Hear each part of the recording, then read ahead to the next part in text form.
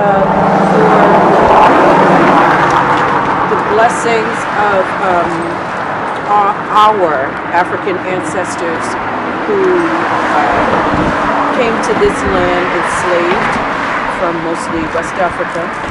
And um, I have here seven watermelon slices, candy watermelon slices. And I will put them on my altar. I was going to leave them here, but I actually want to bring them back with me. And I'd love the energy of all of you to, to bless them. I'll put them on my altar. Um, Yemaya is the uh, goddess, one of the many goddesses of water in the Yoruba pantheon. Offer, make an offering to her, she's the ocean. You make an offering to her, you offer, often you offer watermelon. So I'll put this on my altar.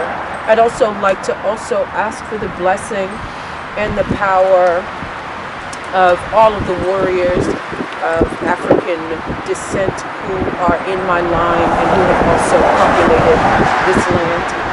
And I would also like to ask for the deities of Oshun of all of the Mamiwatas who are the embodiment and the love and the beauty and the power of water.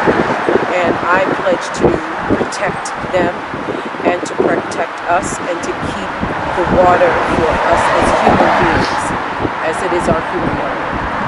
Ashe.